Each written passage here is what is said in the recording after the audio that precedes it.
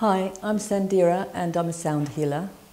Um, so, sound healing wasn't my, my first option as a career or, or a love. I was first off a musician, a professional musician for 30 years, and a Buddhist for 22 years, a Reiki master for another 10 years.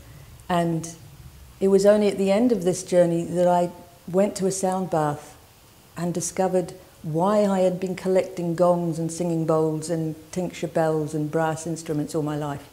Because I was waiting for this moment to use my, my acquired knowledge as a sound healer. And I get so much joy from working with people in, in this field because everybody who comes has an experience that is unique to themselves that takes them beyond what they were when they started.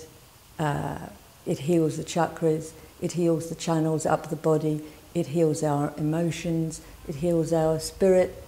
It, um, it's a fantastic mode. And I, the more I study, the more I learn, the more history, the more math, the more philosophy involved, it just expands and I, I believe I've discovered something quite amazing. And recently they discovered that just before the Big Bang, there was a little sound. And you, you talk to every religion in the world, they all come back to sound. We are sound. And I think it's amazing.